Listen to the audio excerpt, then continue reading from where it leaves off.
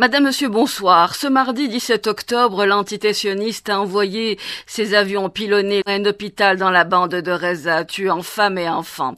Au total, 500 Palestiniens, des civils, sont tombés en martyrs. Aujourd'hui, au lendemain de ce massacre foulant le sol de la Palestine occupée, le président américain Joe Biden a déclaré dès son arrivée que Washington fournira, dira-t-il, à Israël tout ce dont il a besoin pour se défendre. Cet allié, n'est faut-il le rappeler, ni une armée, ni une force, mais un gang de tueurs d'enfants, de pleureuses sans dignité. Cette injustice a définitivement identifié les camps. Plus jamais les uns et les autres, les soutiens de ces criminels ne se pavaneront sans regarder avant chaque pas engagé au-dessus de leur épaule. Plus jamais les soutiens de cet État criminel ne connaîtront ni la tranquillité, ni le répit complicité déclarée, sinon leur silence symptomatique d'une lâcheté profonde, leur ont fait ouvrir les portes de l'enfer. Avec nous, Monsieur Christophe Oberlin, merci d'accepter notre invitation. Vous êtes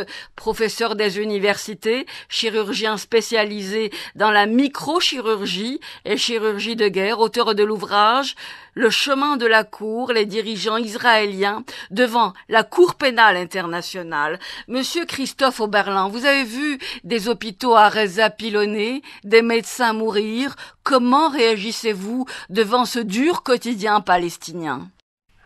Ben, je réagis en, essayant de faire ce que je peux à, mon petit niveau, hein, c'est-à-dire de m'exprimer devant des médias comme vous pour euh, témoigner. L'attaque sur l'hôpital euh, à l'arabe est évidemment un scandale épouvantable. Il est souhaitable que ceci produise un véritable choc et que ça annonce un véritable tournant de cette guerre. Je dois dire que je devais partir à Gaza samedi 7, c'était le hasard du calendrier, évidemment je ne suis pas parti, mhm. tout était bloqué, mais je dois dire que ici, fréquentant des Palestiniens en France, pour eux c'est la double peine. D'une part, leur population est massacrée, des familles entières disparaissent, même de l'état civil. Une de mes amies a perdu 17 personnes de sa famille, une autre 22. Il y a plus de 50 familles qui ont perdu plus de 10 personnes de la famille.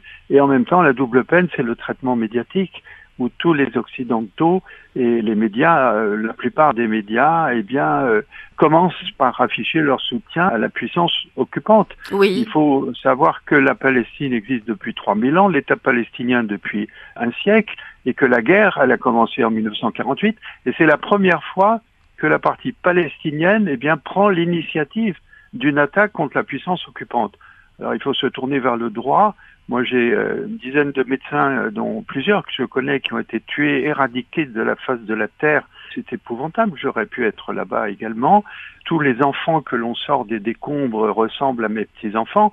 Donc, nous sommes face à un déni du droit euh, qui est absolument hallucinant, énorme et qui va jusqu'au plus haut niveau, puisque même le, président américain eh met en doute l'origine des massacres le président américain sera mis devant l'épreuve euh, le recueil des fragments de bombes qui sont tombés sur Ali Arabe, eh bien, ces fragments parviendront à la Cour pénale internationale. Et ce que nous demandons, eh c'est que le procureur de la Cour pénale internationale s'exprime. Il a dit il y a quelques jours, euh, vous pouvez le contrôler, bah, qu'il était préoccupé, mais qu'il n'avait pas assez d'argent euh, pour s'occuper de tout et qu'il se concentrait sur l'Ukraine. Alors, en ce qui concerne l'Ukraine, des fonds importants ont été débloqués, notamment par l'Union européenne, pour participer aux enquêtes et aider la Cour pénale internationale. Eh bien, ce que nous demandons aussi, c'est que nos responsables débloquent des fonds pour les crimes de guerre qui sont commis en Palestine. Ces fonds ne risquent pas d'être débloqués puisqu'il y a parfois ou souvent des alliances tacites entre les responsables qui devraient également débloquer ces fonds et les forces d'occupation. En tout cas, le silence est une forme de complicité, monsieur Christophe Oberlin, n'est-ce pas?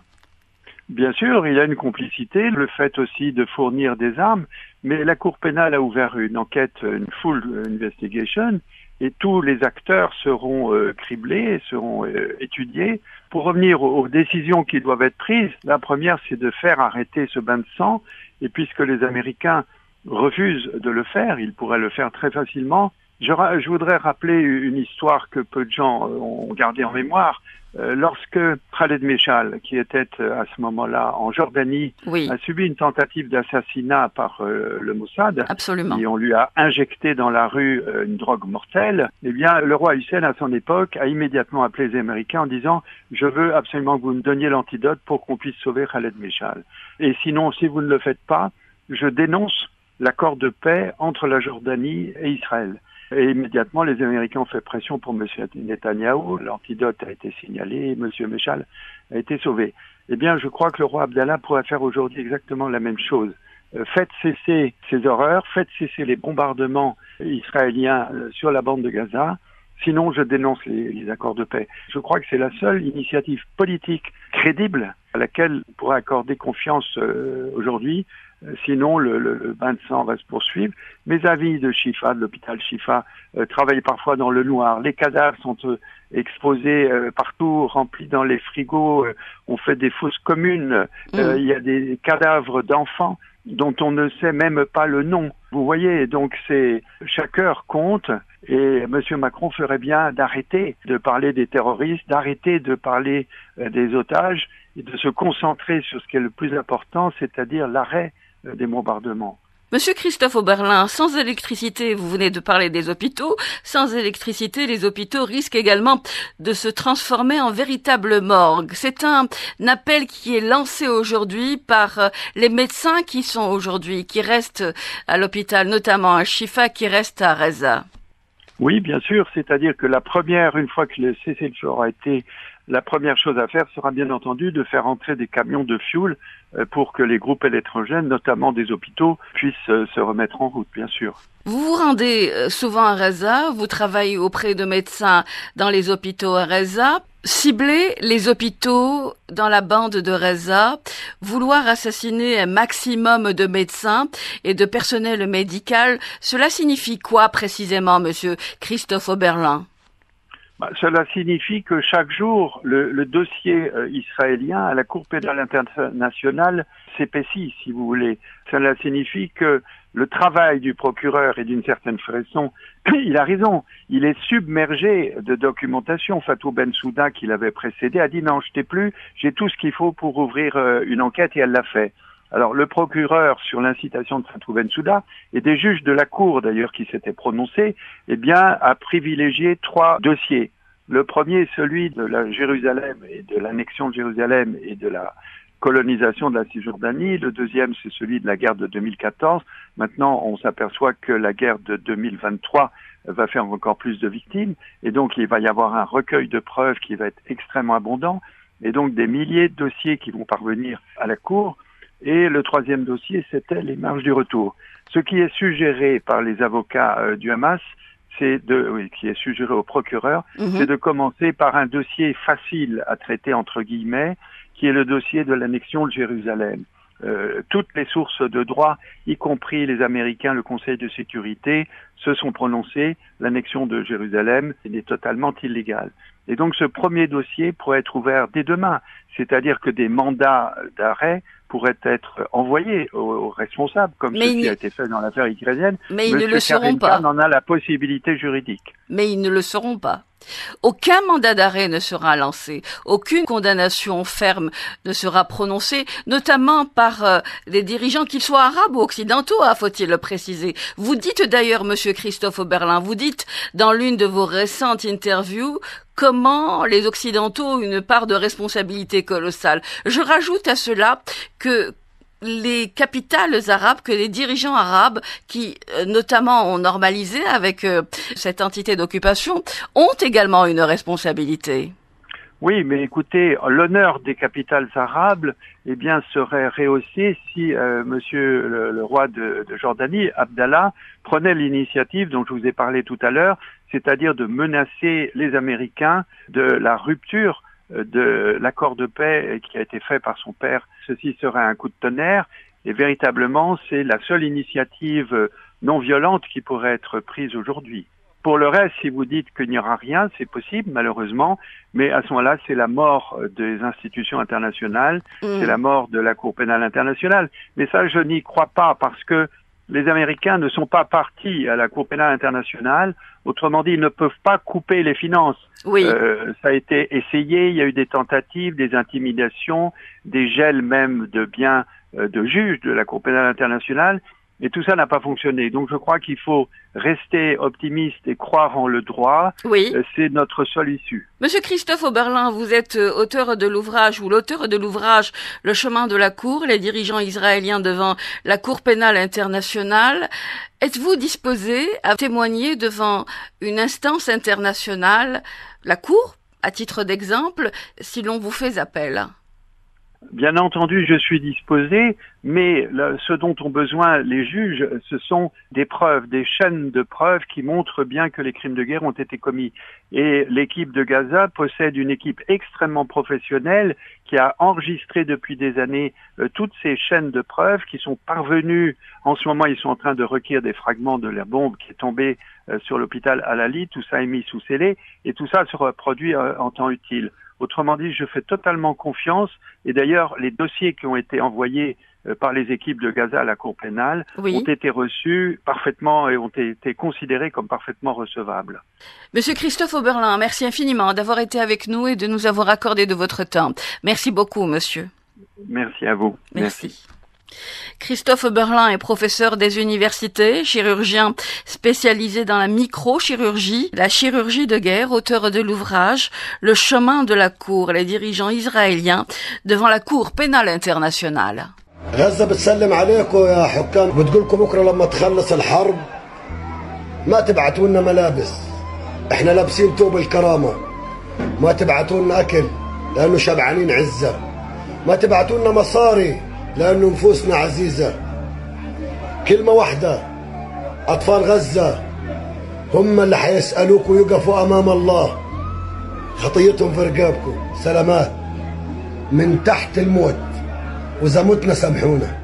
Pas de mini-sommet en Jordanie où il devait se réunir avec le roi Abdullah, les présidents Sisi et Mahmoud Abbas. En revanche, Joe Biden maintient ses entrevues avec les différentes parties de l'entité d'occupation, des entrevues actuellement en cours. Le président américain a annoncé que son hôte accédait à sa demande d'acheminer l'aide humanitaire à Reza via l'Égypte. Avec nous, pour en parler, à partir de Washington, monsieur Maher Abdelkader, fondateur de la l'association des Palestiniens d'Amérique du Nord. ماهر عبد القادر كيف تقيمون تصريحات الرئيس جو بايدن؟ الرئيس الأمريكي جو بايدن Joe Biden, membre du Congrès américain, déclarait « Si Israël n'existait pas, nous l'aurions créé ». Il a dit « Je suis le premier sioniste dans le monde ». Il a répété ces phrases quand il était sénateur, mais aussi vice-président. Lors de sa visite en qualité de président, il a déclaré « Je suis le premier sioniste ». Cet homme ne peut pas être digne de confiance, ni son administration. الكيان الصهيوني قالها بالحرف الواحد أنا الصهيوني الأول. هذا الرجل يعني لا يمكن الثقة فيه ولا يمكن الثقة في إدارته ولا في المعاونين تاعه. مثلا وزير خارجيته بلينكن عندما أثار قضية ما حصل في الشرق الأوسط Anthony Blinken, en tournée au Moyen-Orient, a déclaré Je suis juif. Nous avons l'obligation de protéger Israël. Ce parti pris est rejeté et ne peut servir le peuple palestinien. La récente visite de Biden a pour but de minimiser l'impact de la situation pour ne pas perdre de vue l'Ukraine, sa principale cause.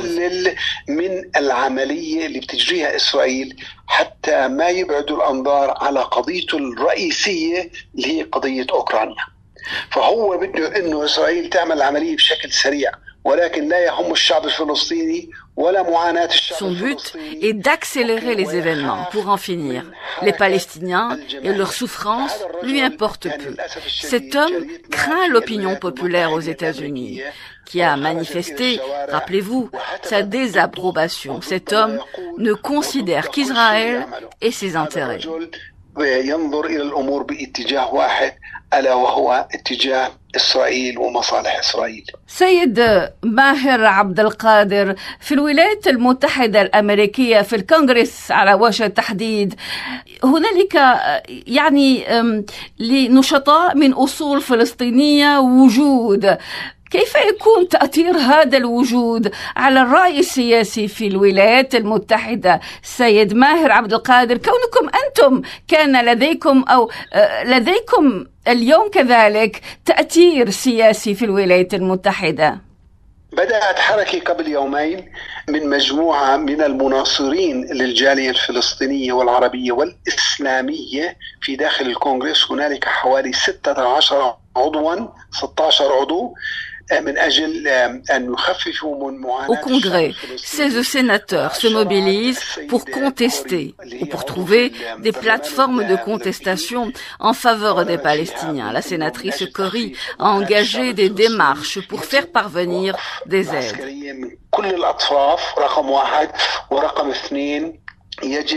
إدخال المساعدات الطبية والغذائية والمعنوية للشعب الفلسطيني حتى يخفف من معاناته وتم التعامل مع هذه الورقة وهذا الطلب من قبل 16 عضو ضمنهم إلهان عمر ورشيد Parmi les soutiens à cette démarche, Ilham Omar, Rashida Tlaib, Jesse Jackson de Chicago et d'autres membres qui essaient d'exercer des pressions.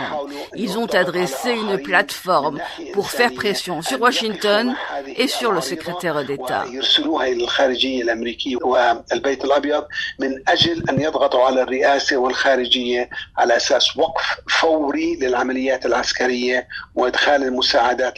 Il s'agit d'un arrêt immédiat des attaques.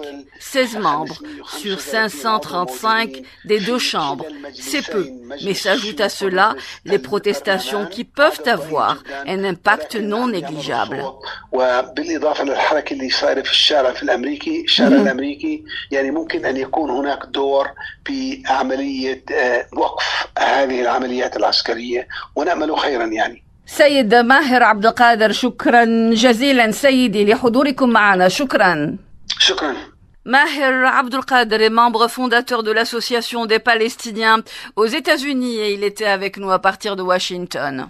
Ce déplacement, celui de Joe Biden, a été précédé de la visite improvisée de la présidente de la Commission européenne, Ursula von der Leyen. Avec nous pour en parler à partir de Rome, Madame Emma Bonino, merci d'accepter notre invitation. Vous avez été ministre des Affaires étrangères et des Affaires européennes de l'Italie, ancien commissaire européenne. Madame Emma Bonino, en Europe, chacun y va en fonction de ses intérêts. Les vies humaines ne pas avoir le même intérêt.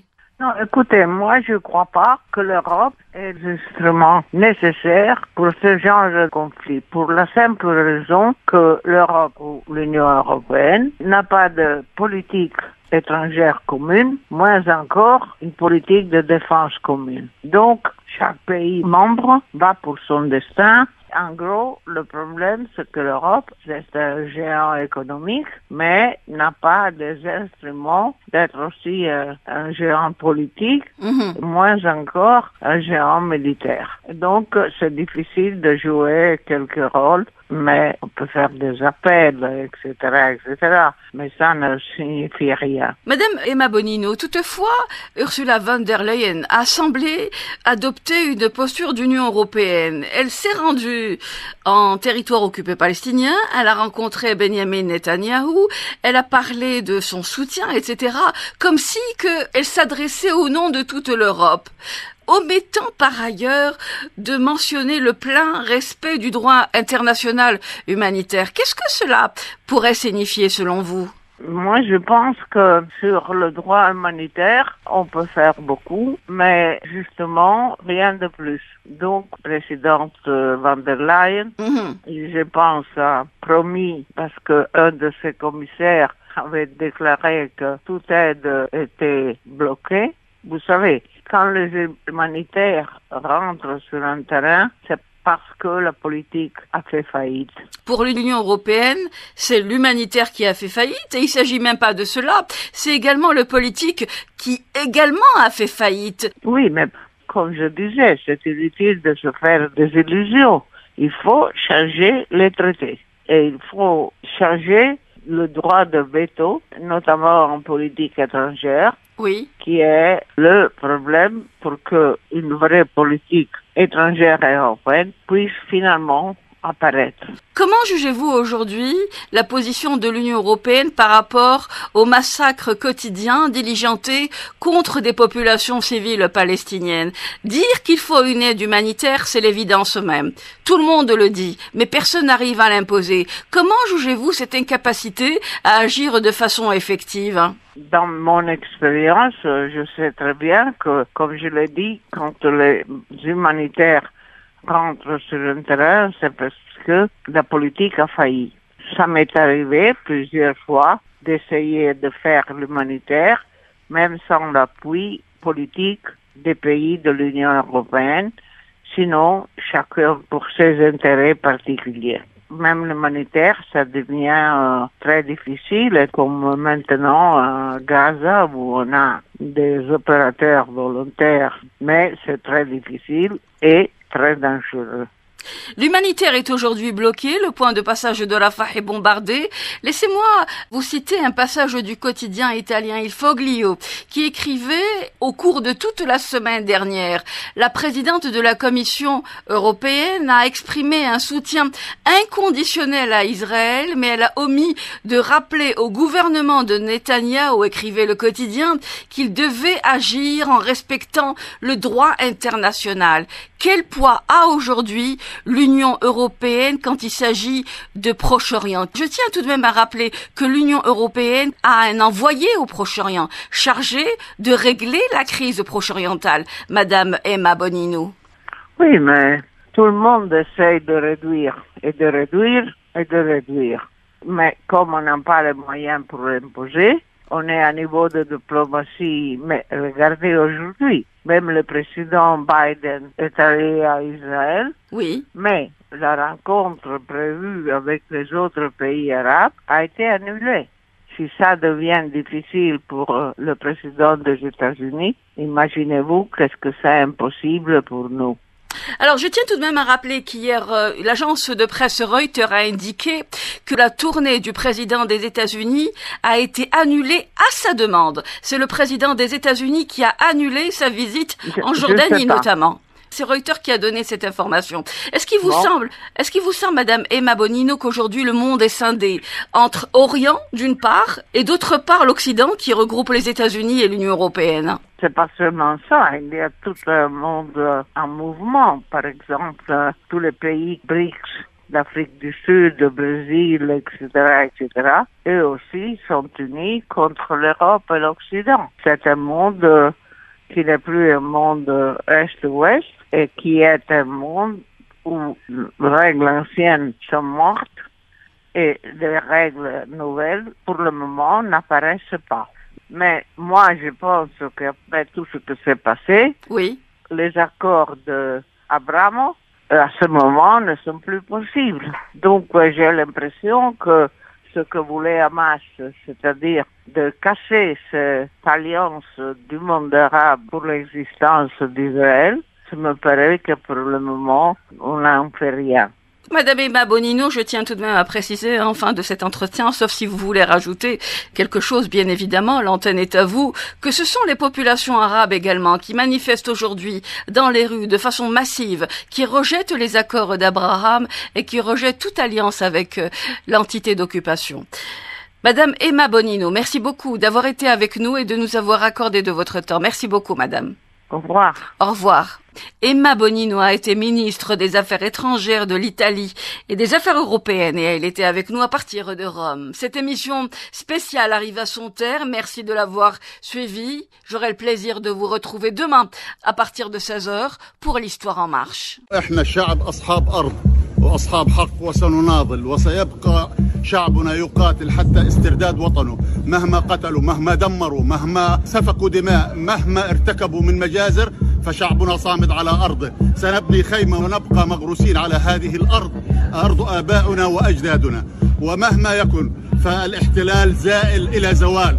هذا احتلال عابر عابر على التاريخ عابر على الجغرافيا. نحن أصحاب الأرض وسنعيد بناؤها وسنعيد تحريرها. ندفع الغالي والنفيس من شهداء. سندفع أولادنا وبيوتنا ودماؤنا وأجسادنا في سبيل تحرير أرضنا أرض فلسطين أرض العزة وأرض الشموخ.